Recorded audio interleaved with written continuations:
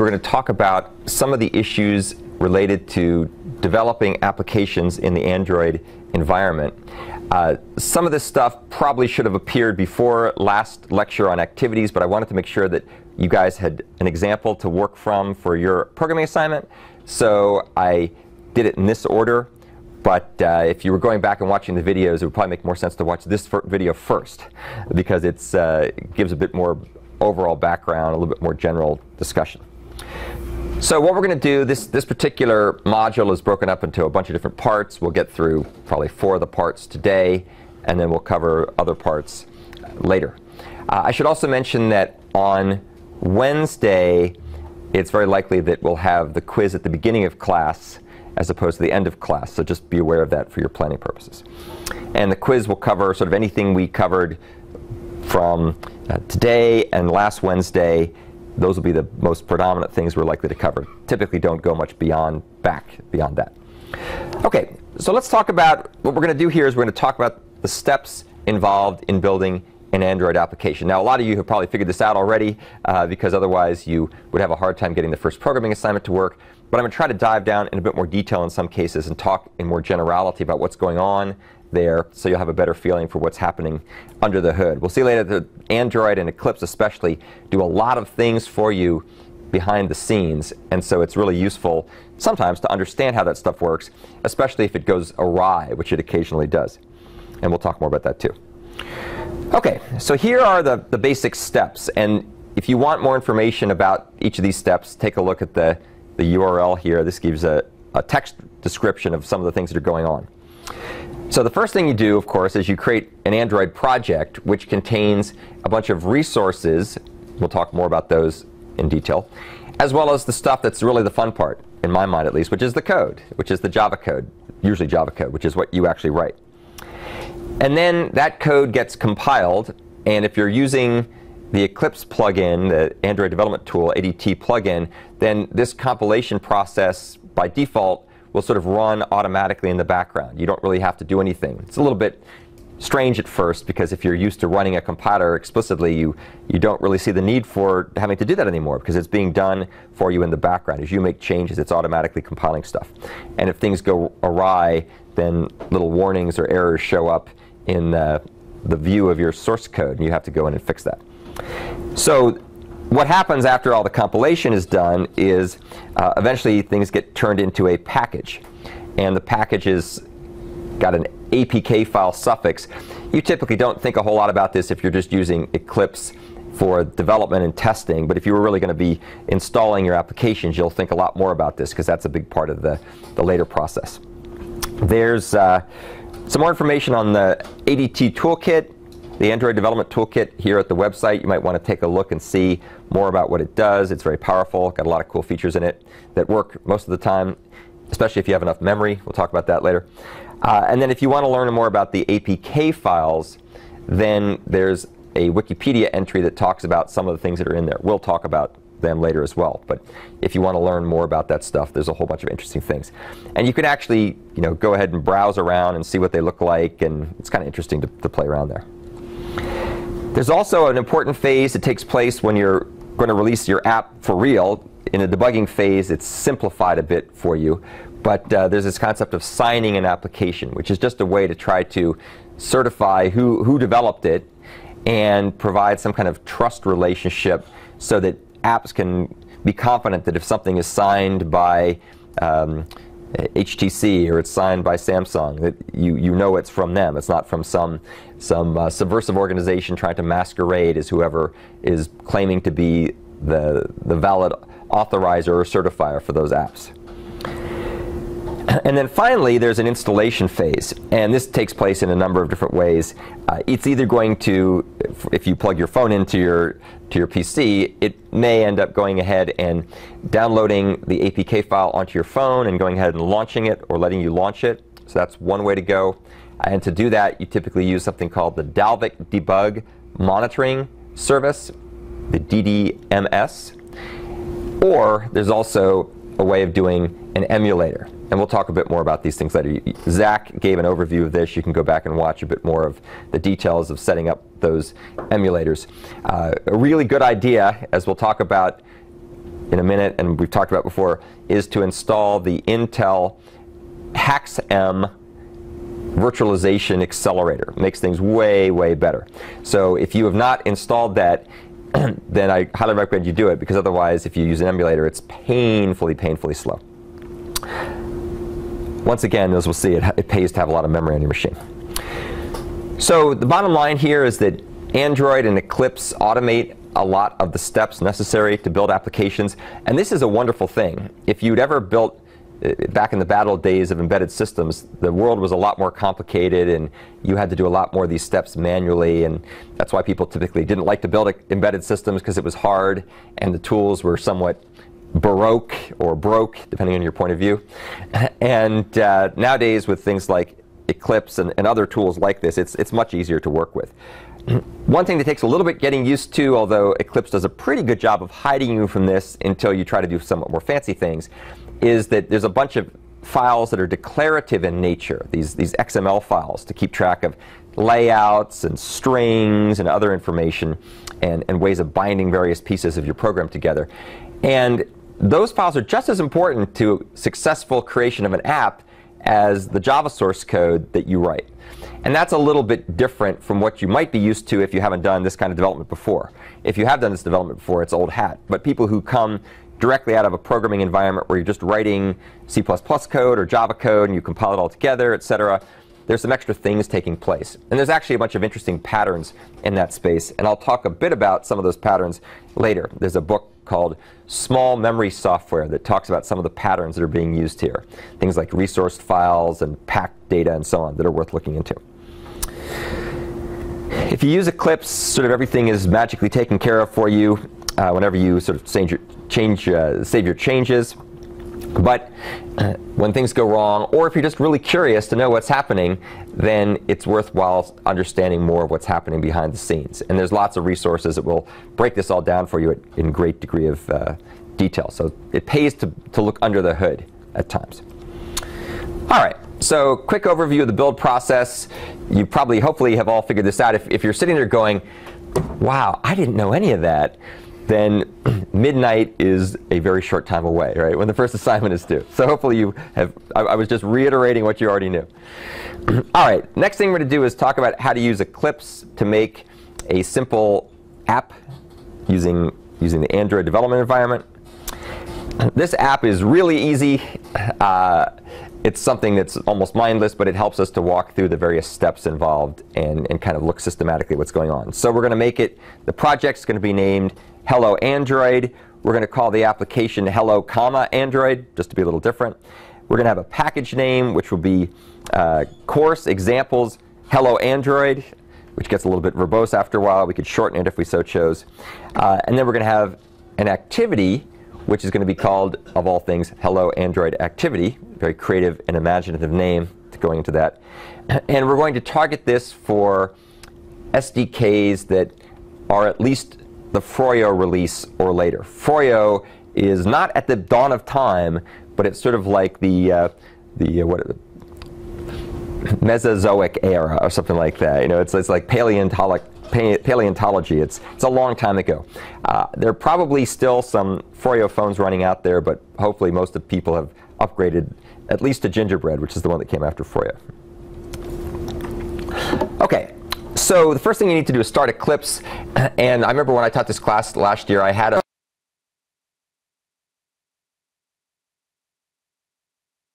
at the time was a pretty cool laptop, but I had a magnetic disk drive and I had only you know two gigabytes of memory and it was painfully, painfully slow. So one of the things I did was I got something like eight gigabytes of memory and I got an, a solid state drive and now it's really fast.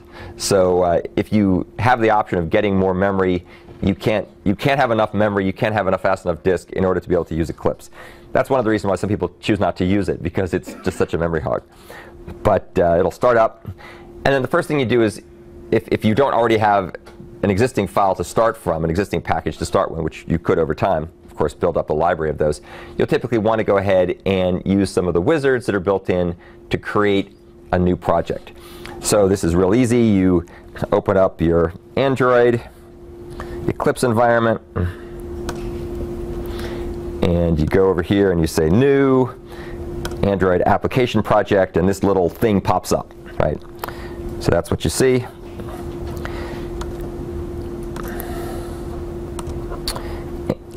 and this is the new project wizard, and it's going to prompt you for a bunch of stuff. Now, keep in mind that pretty much everything you type into here, you can easily change later. So if for some reason you get it wrong or you're not satisfied with some of your initial choices, it's not hard at all to go back and edit it. It just requires using some other tools. So in our particular case, we're going to go ahead and specify the name of the application and the name of the project. So the application name is hello, comma, Android. The project name is hello, Android. We're going to tell it the package name, which really just says where to put a set of, of, nested subfolders or subdirectories into the underneath the source directory, which we'll talk about later, or the source folder. And that's where your code is going to go, your application's code. fix that while I'm in here.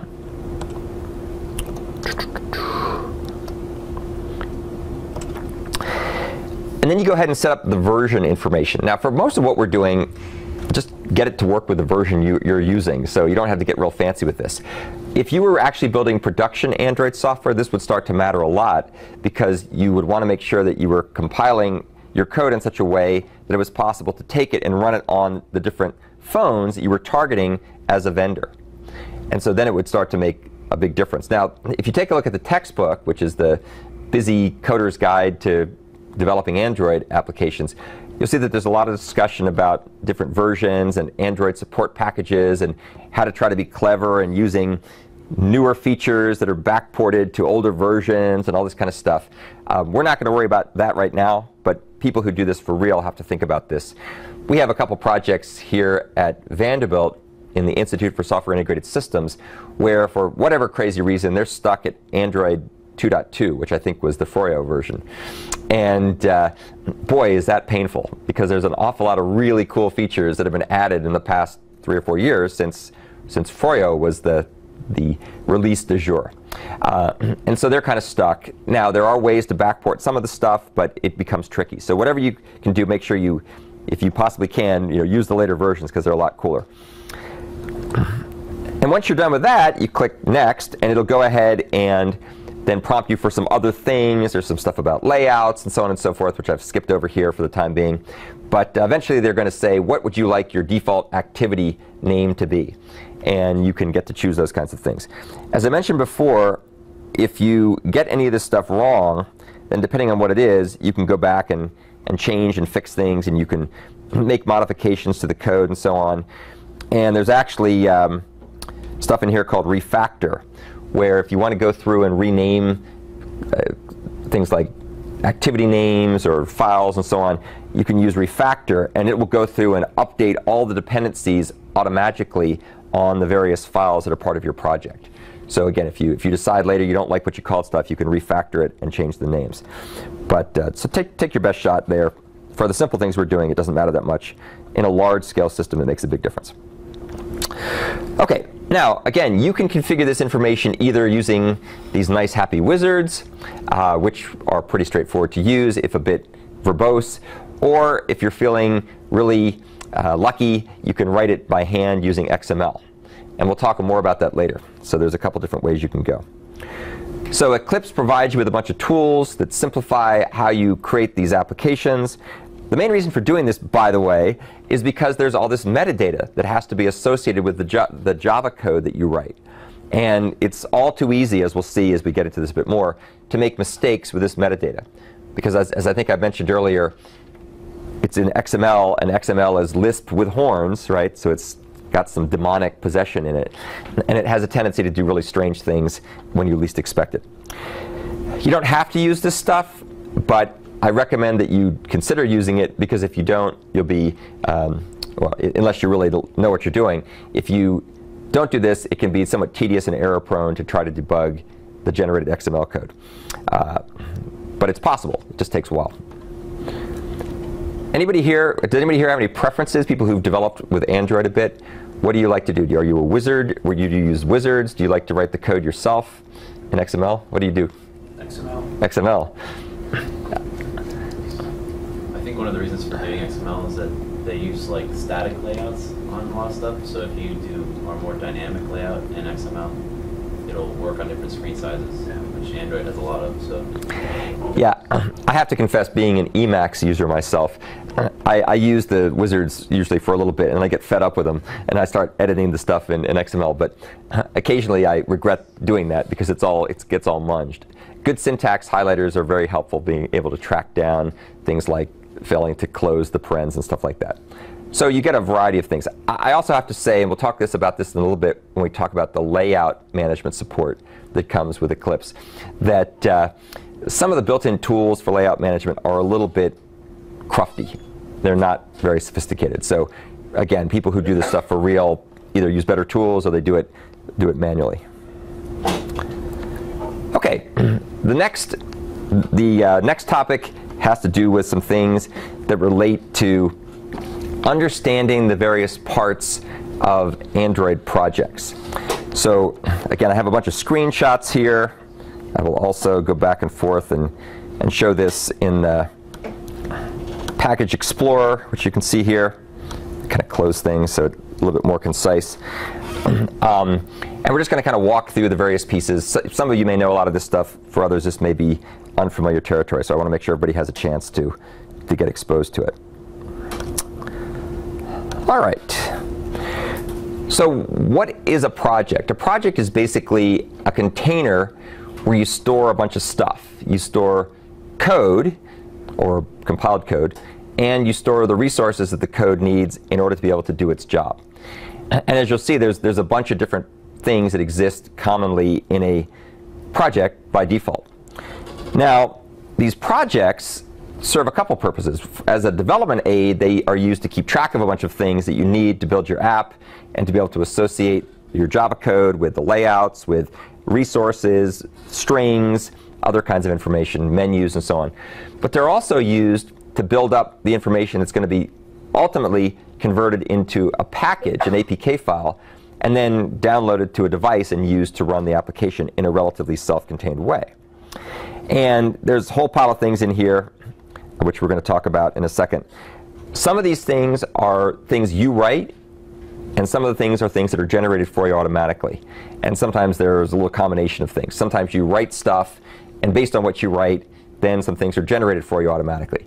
Other times there's just stuff that kind of is generated for you automatically that you don't really write in any normal sense of the word write. Maybe you drag and drop. So that's another way to look at it.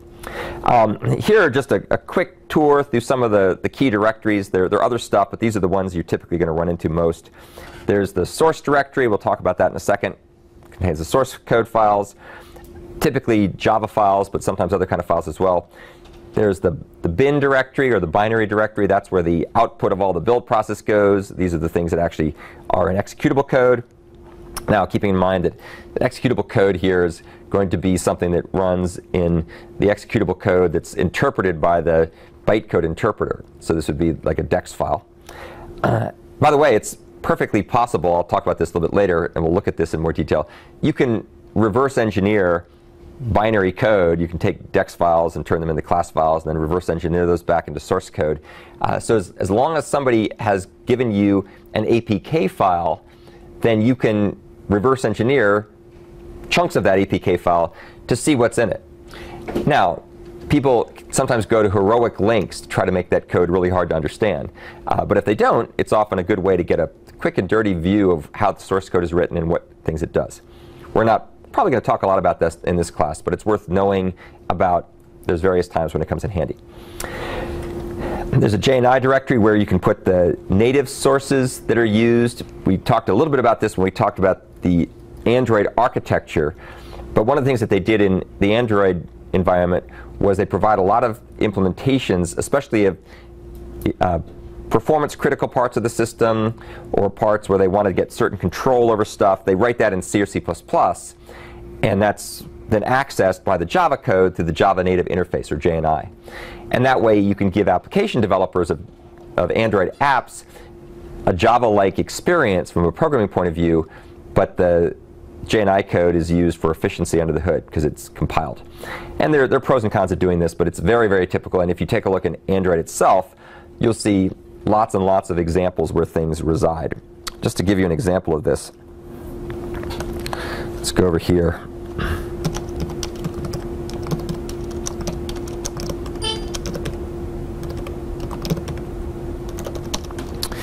And we can look in Dalvik. Let's see.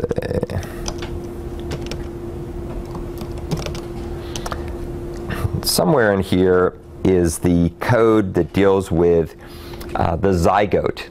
So we talked about zygote before. Let me see if I can find it.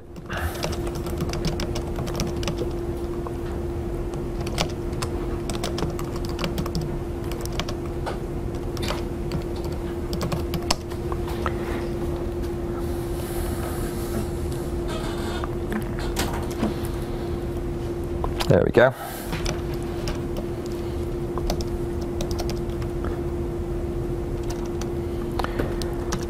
So in here they have stuff that relates to the zygote files, and they have this stuff implemented in, in JNI. So a lot of that low-level systems code is written in C and C++ for efficiency, and then you get access to it through other means just to make it more efficient. Gen, as we'll see, contains some generated code. Assets contains things that you would typically use to store data that are called raw asset files for example, we did a project over the summer where we had to store some database information, so we stuck the, the database information in the asset folder and just were able to access it from there. Uh, resources, we'll talk a lot about resources. These are things that keep track of layouts and menus and strings and ways of internationalizing things. And you can also have private libraries that are contained there as well. And there's more stuff that we'll talk about. From our point of view, developing applications and services in Android, there are three key things that we care about. There's, lots of other things too, but there are three key things that we care about. Uh, the first, of course, is the Java code. this is the part where it's the most flexible, typically where the most creativity goes in. That's probably where you'd spend the bulk of your time, unless you're, you're a packager, you're a person who packages up things and creates installations. Then there's the XML-based GUI metadata that's used to manage the layouts, and we'll talk a lot more about this later. You'll get a chance to play around with this. This tells you sort of where to put the widgets in the display that you're showing to the user in your activity. So these would include things like buttons and radio groups and uh, edit views and, and, text views and edit text and all these different kinds of things. Once again, you can either write this yourself or you can use the layout editor. We'll talk more about that. And then finally, we have something called the manifest file, which is a really fascinating part of Android. And it's used to keep track of all the things that Android needs to know about your app in order to be able to integrate it into the Android system. And I'll talk more about that stuff in a second. Uh, a lot of different pieces there.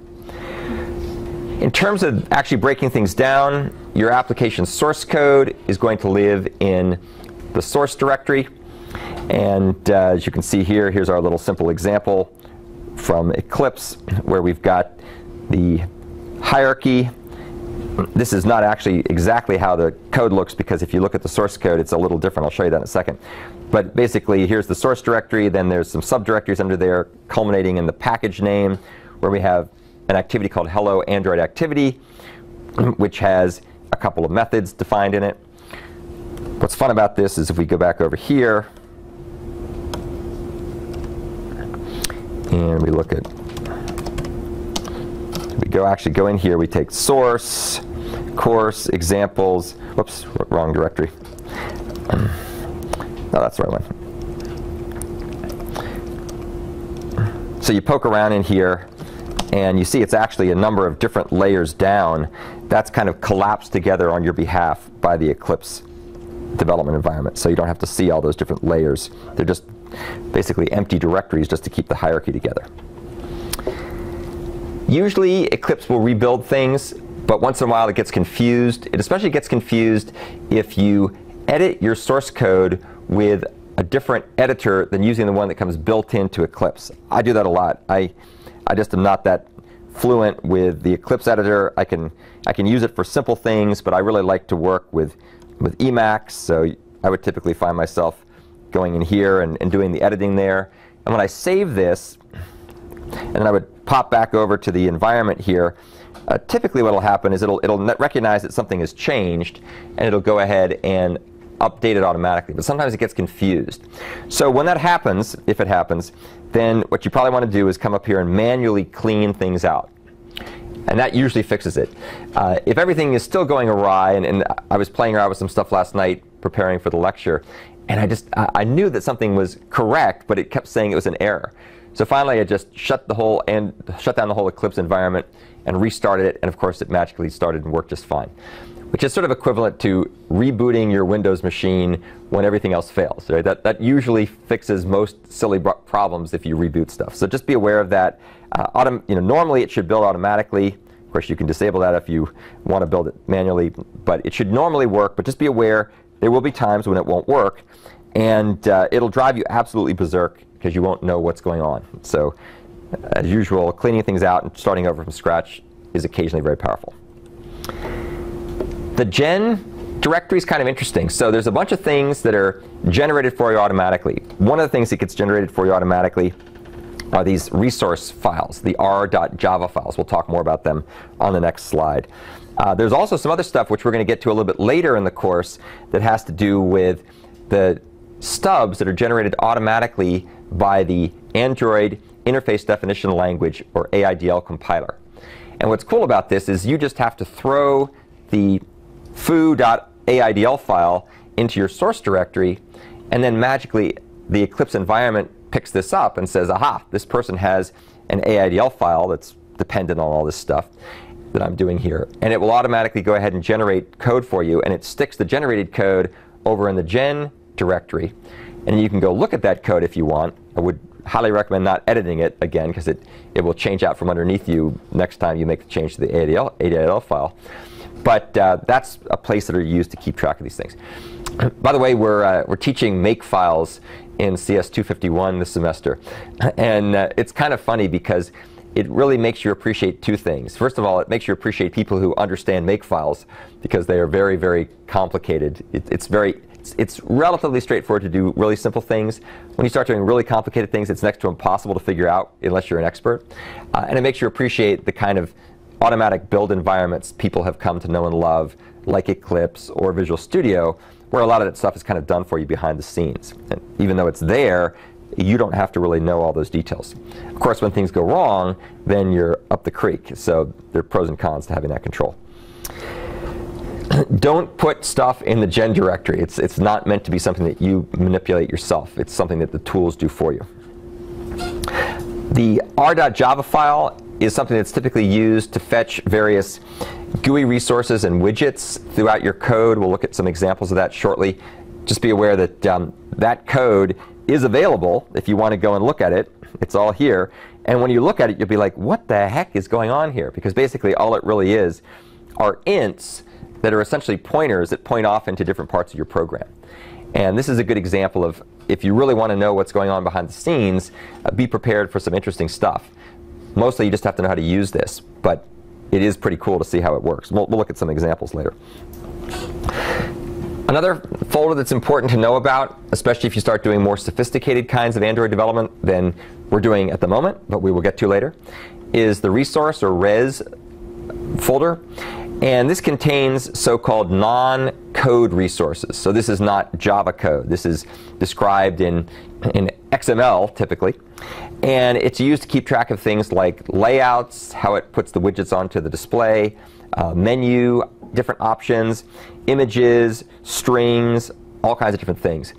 And you can, there are a bunch of different options here. One of the things that has happened over time is that different manufacturers have taken the Android source code and then they've created a whole bunch of different kinds of form factors for Android. So you've got things with big screens like tablets, you've got different sizes of tablets.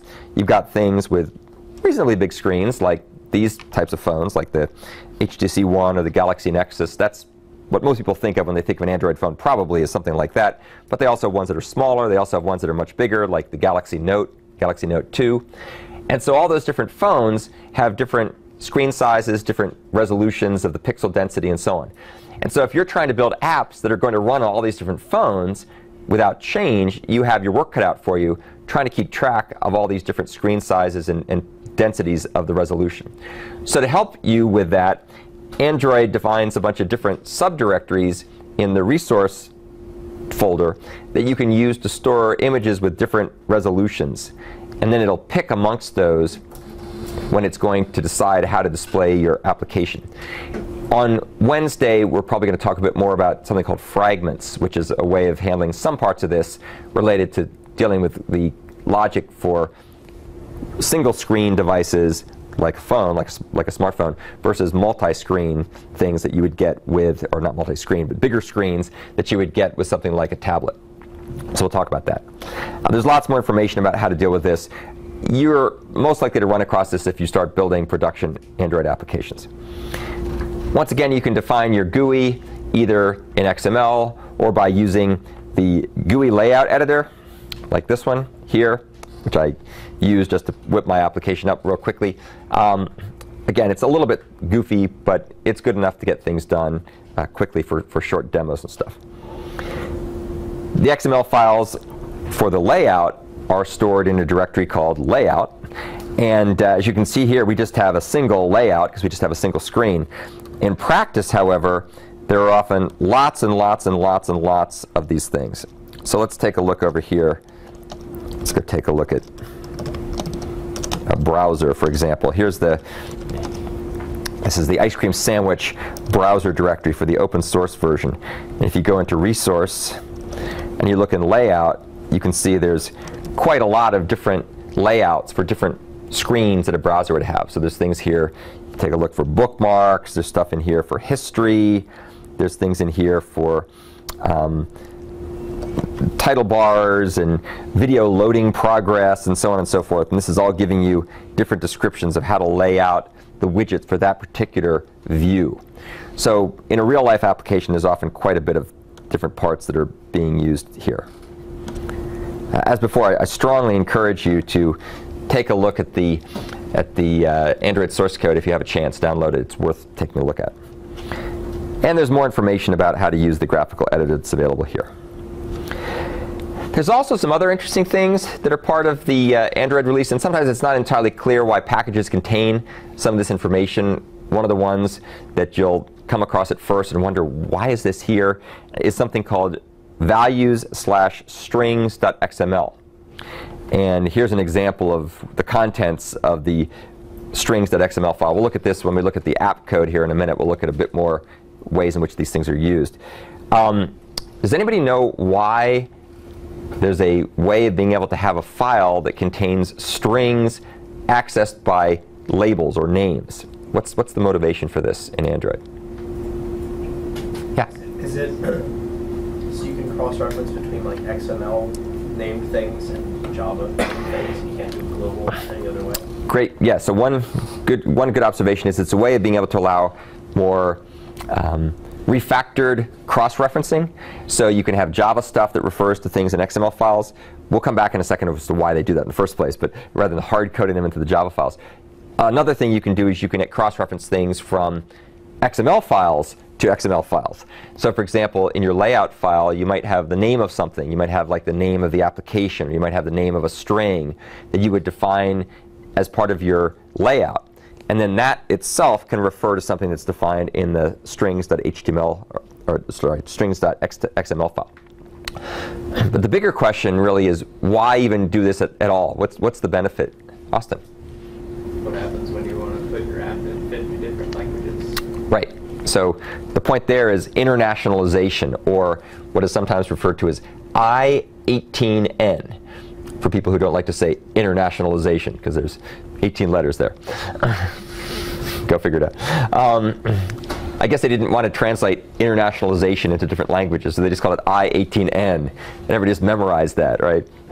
Uh, so internationalization, if you want to sell your app and you want to sell it in the German market or the Korean market or the Japanese market or the Chinese market, and then there's different variations in different you know, dialects or different sub-dialects uh, and so on. This way you can use references in your Java code or your XML code to something that gets replaced by whatever happens to be the corresponding translation of that phrase or that name in the language, the human language that you're, you're working with. So that's why, that's the main reason why that's done, to be able to enable that. Cross-referencing also helps too, to try to factor things. It kind of goes back to one of the points we talked about before, one of the patterns we talked about, where you try to avoid duplicating stuff. You want to have it done in one place and then have references to those things. There's a famous joke about computer science that says, no problem is so complex in computer science, it can't be solved with enough levels of indirection. So this is sort of one of those things. You have indirection to stuff. The next topic, one of the more interesting parts of Android, and, and for my money, one of the things that makes it the most different from other prior smartphone technologies you might happen to run across, is something called the, the Android manifest.xml file. And this file contains information represented in XML that is used by the Android system in order to actually execute your application once it starts to, once it downloads it and then allows it to be run. And it exists, it's an XML file. There's also a, a, binary version of this thing that's actually part of the package that's released. And that's why if you ever try to reverse engineer a package, the first thing you typically have to do is go find the Android manifest file and then convert that from binary back into a text version so you can actually look and see what's in it, what the various elements are. Android has this, this cool app component framework, which is glued together by intents and it has all these different components we talked about, right? So broadcast receivers, content providers, activities, services, and so on. And these different components have to be described in some way, and you have to be able to tell Android what your app is providing or defining or, or using so it knows how to plug your app into the other stuff that comes along in the Android framework.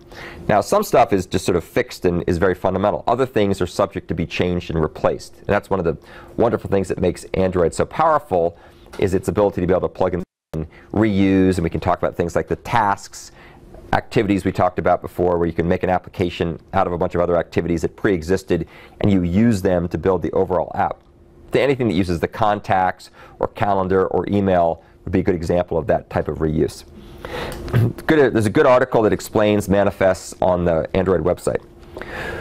When you install an app from the, uh, the App Store, the Play Store, there's a piece of logic on your phone called the package manager that's actually responsible for parsing that manifest file and then going and looking up inside of the package to get access to all the things that are referenced in that manifest file.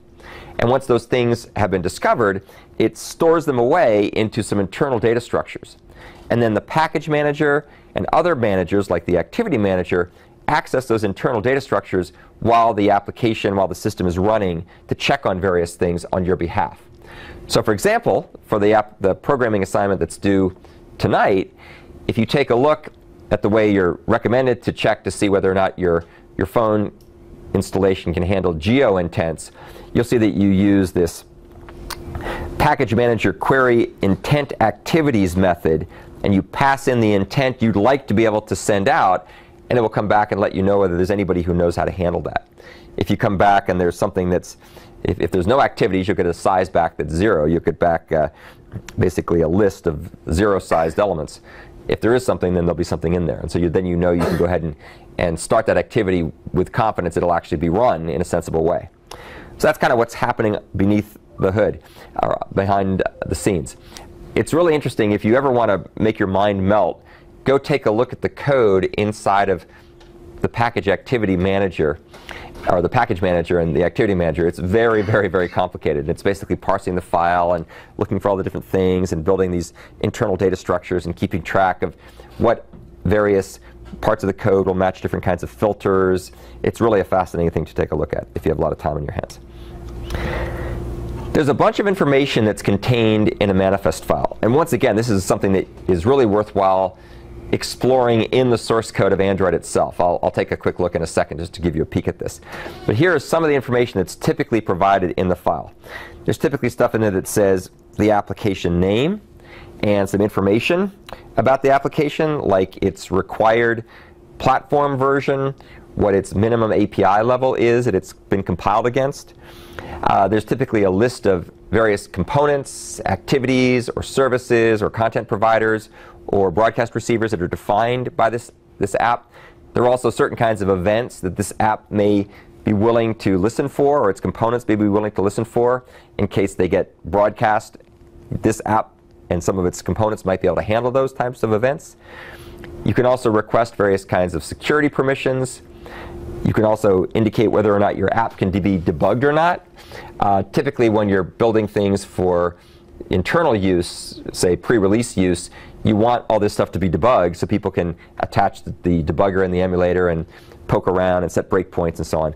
But oftentimes when you go ahead and ship the actual release version of the code, you want to strip out all that information, either to make your code a little bit smaller and faster, or because you don't want anybody to figure out how to re-engineer it or reverse engineer it.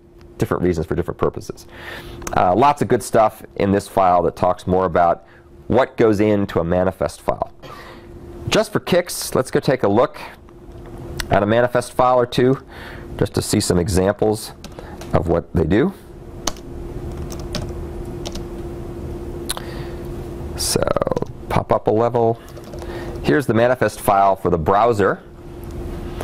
And as you can see, it's, it's pretty gigantic, a lot of stuff. Uh, and it's not even the most complicated one by any means. Uh, so you can see here's the, here's the content provider that's provided by the browser. The, the browser app in Android historically has its own content provider where it uses, it, it stores things like bookmarks or it stores things like the history of searches and so on. It uses these to provide suggestions. If you type stuff in, it'll give you suggestions based on things you've already looked at before. So it stores those as a content provider in an SQLite database. Uh, there's an activity. The, the main activity is browser activity. And so when you start up a browser, that's what you're going to see. And you can see here that there are various types of events that knows how to deal with. It can handle um, voice search results. It has a view, so if you want to view a web page, it knows how to view those kinds of things. And um, lots and lots and lots of different kinds of, of intents can be handled by the browser. Web searches, uh, other kinds of things. And again, if you poke around in this stuff, you'll find lots of other examples. And these are other application activities or services and so on that are provided by the browser. And they're all defined here. So there's one convenient place you can look to find out what they do.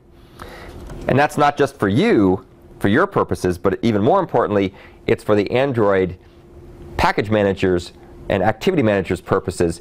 So as you load all these different apps onto your phone, it can interrogate their manifest files and then populate those internal data structures. So it knows what events, what intents are capable of being handled by different kinds of handlers, activities, services, and so on. So this is a really cool example of late binding and loose coupling where you really don't know until you run your intent who on the phone is going to handle it unless you cheat and you check to see whether or not the, the package manager knows how to handle it. But uh, that'll just tell you who, who does know how to handle it. So it gives you a lot of flexibility in adding things to the system and making it more dynamic. So projects basically act as containers to store a bunch of stuff, code, and, and other resources that they need to run. The tools that Android provides in the software development kit expect all this stuff to be laid out in a very well-defined manner by a specific set of structures, data structures, relationships. So the tools that you get with Eclipse help to make sure that that happens. Uh, or command line tools you can also run if you like the command line environment. You're welcome to do it yourself, but if you get out of sync, really, really, really strange things happen. Uh, I've never pushed it to the limit, so I don't know how robust Android is if you start feeding it just garbage manifest files, whether it just goes berserk or what it does, but it probably is not a good thing. We primarily here have focused on Android projects, which is what we typically use to build the applications, the activities, and so on that we're going to be doing. Be aware that there's a couple of other kinds of projects as well. There are test projects where you can set things up in order to be able to run test applications, test unit testing and so on, integration testing to see whether things behave the way you expect them to do. Uh, just like you would for anything else, it's important to write test cases for all your, your smartphone apps. People are, are no less annoyed if they don't work than they are in any other kind of environment. And then there's also projects called library projects, which are typically things that are used to share code between different applications. So you can make a library project and put some reusable stuff into it and then have multiple different applications share that. So it might not be an application itself, but it's basically something that provides resources that can be used by other applications. The Busy Coders Guide to Android Development talks about these kinds of projects as well. Okay, any questions about, about that? Hopefully that's mostly recap, but the good news is you, should ought, you ought to be able to now look a little bit more into the code that's there in your, or the various tabs and directories and so on that are in your, your Eclipse environment to get a better sense of what's happening under the hood. The last piece of the puzzle we're going to talk about today is really uh, how to use Eclipse to create a very simple application. And this will take some of the things we just talked about and go a little bit deeper into the details of how they work under the hood. So the first thing we're going to do is we're going to define some of the, the layouts, some of the resources that we have, and so on. There's lots of things you can do this way. We're just going to focus on a couple of them. So the first thing we're going to do is lay out the user interface. Now, there's a lot involved in doing this for real. We're just doing a very simple one, so we're not getting too carried away with how it's going to look. It's very simple, and it's just going to look like that, which isn't even very interesting at some level. Um, but uh, what you basically can do, either either with uh, the tool or without the tool, is you can go ahead and write the code that explains how to do this. And there's a bunch of different tags here in XML that say how to align this particular widget or this particular layout relative to other things. Uh, as you can see here, all we have is a text view. You can also see something we'll talk about in just a minute about how we've referred to this using the abstraction and the indirection of being able to refer to this by the label. So rather than a hard coding hello Android, instead we say go look up in the string resource file a label called hello Android and then whatever that happens to be, use that as the particular text we want to display in this text view. So that gives you this level of indirection that we had talked about before. The way that you would actually access this stuff, and we'll talk more about this in a second, but if you were writing your application, depending on what it was you were doing, then you could refer to this particular chunk of code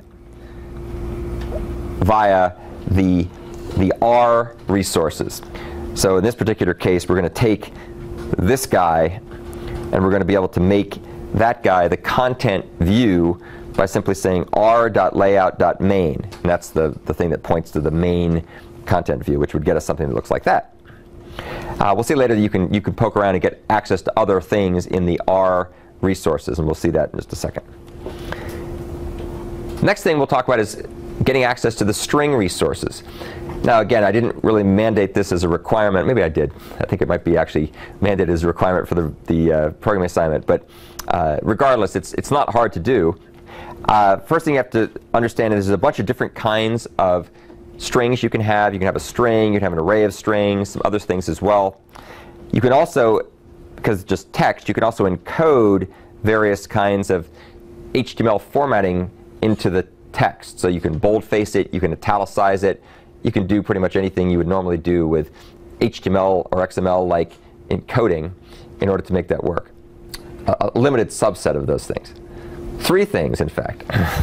okay. Each string is then actually um, stored in, in this particular file. So as you can see here, this is how you access from another file. So here's our result uh, resource layout activity hello Android file, the XML file, and there it references this file here, the hello Android file.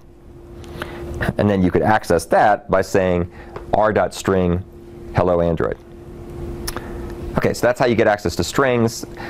The bottom line here is, as a general rule of thumb, unless you're just doing quick and dirty debugging and it's too frustrating to keep track of all this indirection, use the strings file under the values folder subfolder in the, in the resources directory rather than the hard coding the strings into your application. It's, it's okay for simple things, but as a general rule, try to use this. The next thing is, is how do you actually get all these resources? And so this is something that's handled by a um, resources compiler, which is called AAPT. I'm not exactly sure what AAPT stands for. Does anybody know what AAPT stands for?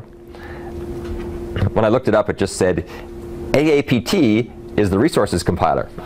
So maybe in, in some like strange language, it, it says resources or something. So basically what happens here is that at the appropriate time, it takes the XML layout files and the Android manifest file, runs them through that particular tool, and then it generates out these compiled XML files, which you access via the r.java uh, package directive, and you can you have to you can import that and you can access those things. Here's what it looks like if you take a look at what the actual class looks like. You can see here we've got, for example, r dot layout dot activity hello Android, which refers us to this this pointer like thing, and here's r dot string dot hello Android and so on. So you can you can access these things in various ways. If you take a look at this link here smallmemory.com. There's an interesting book written by a couple of well-known pattern experts, Charles Weir and James Noble, and they talk about a bunch of patterns people use if they're trying to develop software that runs in resource-constrained environments. And uh, a, no, a, number of the chapters in the book are available online, not the whole thing, but a, a bunch of the different pieces of them. Uh, I'll probably talk about some of these patterns later because they're really important to understand how some parts of Android works. But one of the patterns that they talk about is something called uh, resource files. Let's see if I can find, looked it up, resource files. There we go.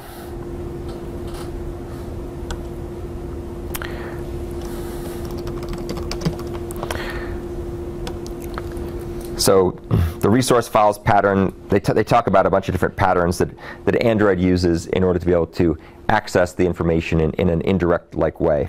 So it's, if you're into knowing the patterns that go behind this, it might be something you want to take a look at.